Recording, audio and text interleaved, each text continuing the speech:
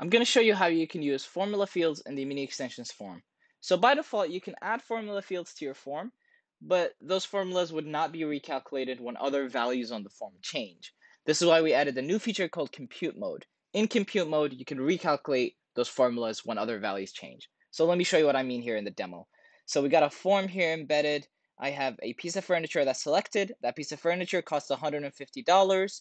I want to set a quantity for it and see the total cost. Now, total cost is a formula field.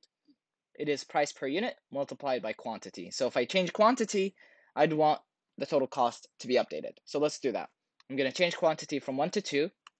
You'll see that that confirm button now becomes a calculate button.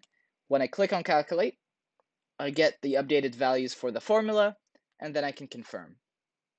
I go back to Airtable, 150, 2, and 300. So let's go ahead and set this feature up now. I'm going to assume that you've already set up a miniExtensions form. If you haven't, please follow this video to do so.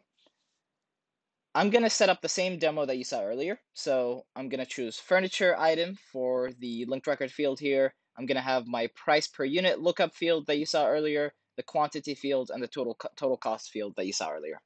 So let's go ahead and actually uh, enable the compute mode.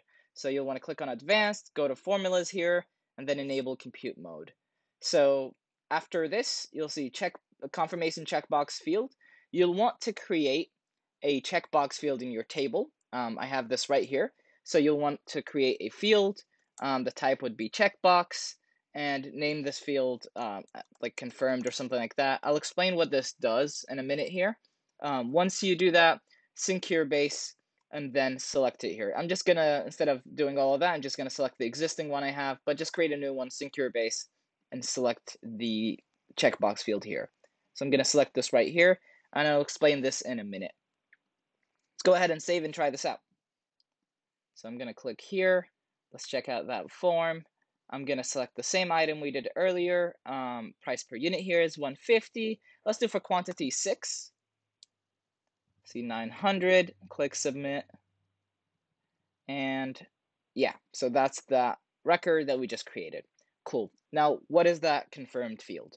Okay, so when you're in compute mode, what's happening is when I create a new form like this, how are we getting the formula back?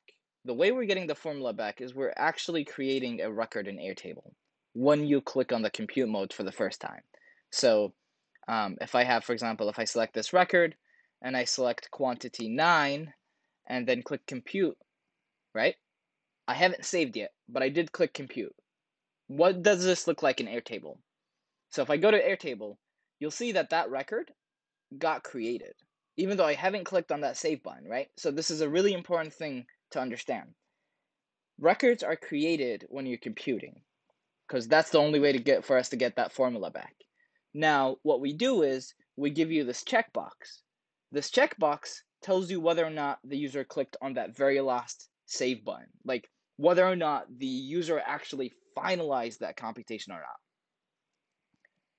Since I haven't clicked on the save button, you'll see that the, the checkbox here is not checked, right? Now, what happens if I save? All right, let's go back here. You'll see that that record got moved up here because it got checked. So really the goal is create these records as the user is using the form, update these records as the user is using the form, and then check them once the user confirms. Now, what does this look like if I'm editing records? Let's try this out. So I'm going to try to edit this record right here using my form. So let's just open up that record in the form. So this is an editing mode. So I'm editing that record. As you can see, because I'm editing, there's nothing to compute initially.